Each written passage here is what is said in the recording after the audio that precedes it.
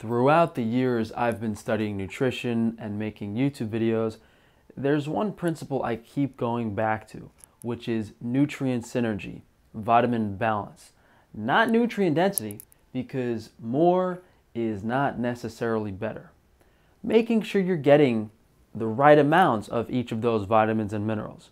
And it's one thing to say that, and another to understand the correct amounts when applying past diet and lifestyle for however many years since you were a kid.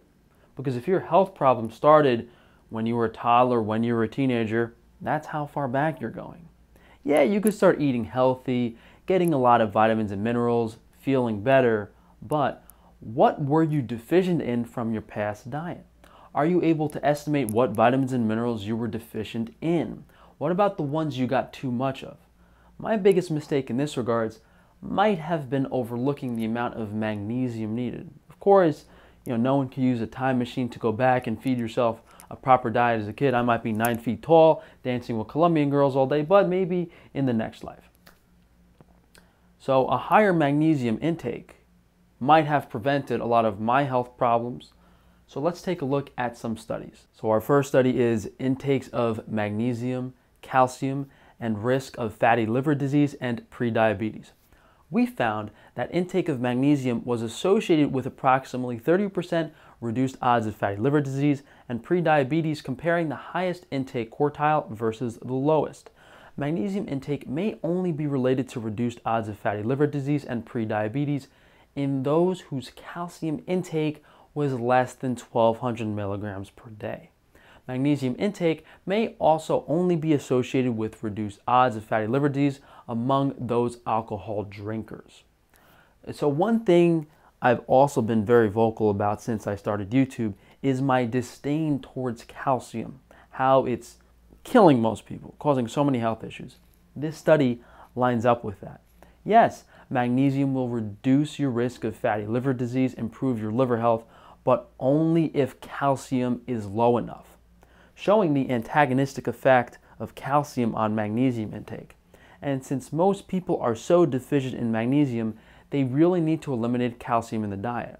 So if you're one of those people who's chugging raw milk, I mean, yeah, you could have some butter, some yogurt, some kefir here and there, but you know, half a gallon of raw milk a day, increasing that calcium intake, you're destroying your body. You're calcifying your tissues.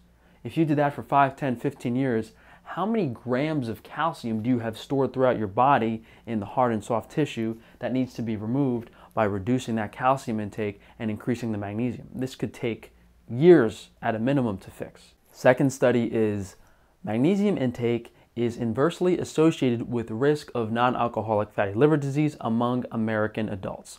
A total of 629 non-alcoholic fatty liver disease cases, NAFLD, were documented.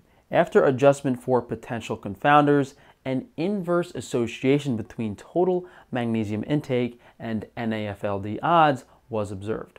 Compared to participants in the lowest quintile of total magnesium intake, the odds of disease was 55% lower among individuals in the highest quintile. This study suggests the higher cumulative intake of magnesium throughout adulthood is associated with lower odds of disease in midlife. So the takeaway from this second study is that increasing magnesium reduces the risk of liver disease. The more magnesium, the less chance you will have liver problems. Kind of shocking because you know how deficient are people in magnesium that the threshold is unknown. It was not reached. They're saying more is better. Up next, we have magnesium intake and mortality due to liver diseases, results from the third National Health and Nutrition Examination Survey cohort. Overall magnesium intake was associated with a reduced risk of mortality due to liver disease at borderline significance. In fully adjusted analyses, every 100 milligram increase in taken magnesium was associated with a 49% reduction in the risk for mortality due to liver diseases. So similar findings to the prior study showing us how important magnesium is in the body that a severe deficiency of magnesium on its own can be a catalyst to certain diseases. Uh, this next study is more about the mechanisms why magnesium is helping prevent liver disease. Magnesium in liver disease.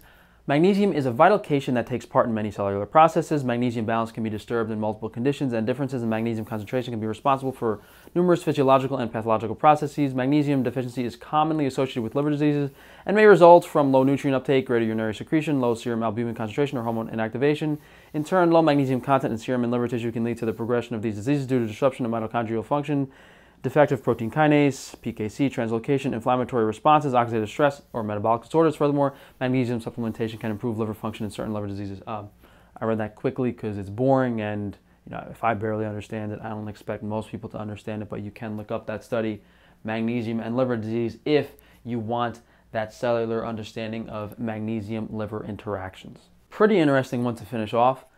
Inflammation interferes with the assessment of vitamin A status in magnesium deficiency.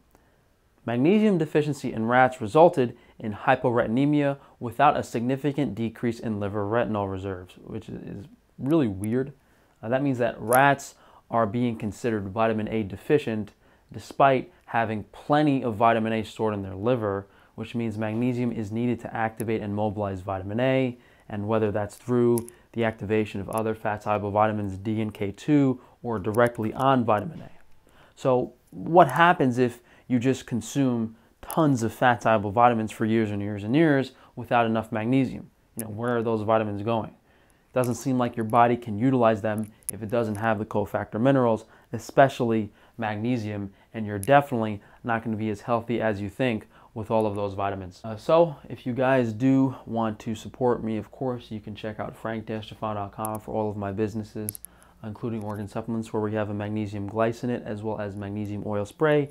And I think in the next two or three months, we're going to have a whole uh, new product line, but those uh, current products will still be very relevant. If you haven't been watching my past few videos, uh, if, if you do purchase meat from Frankie's Free Meat, please just send me an email stating that, hi, I'd like to purchase a live animal, share to info at frankiesfreerangemeat.com just so I'm covered legally in the future if you guys would like to purchase hot dogs or sausages or any of our new farm products. But that will be it.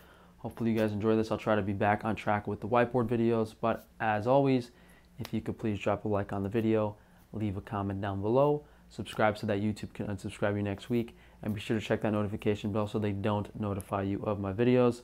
I mean, I could go on about this for hours, guys, but, but if you do start incorporating magnesium uh, into your diet and lifestyle, it, it may have to be tapered in at a pretty low dose, 50 to 100 milligrams a day, and then you can go up and up and up more and more as you tolerate it as long as you're sleeping well. Thanks again, guys, and I'll see you for the next video.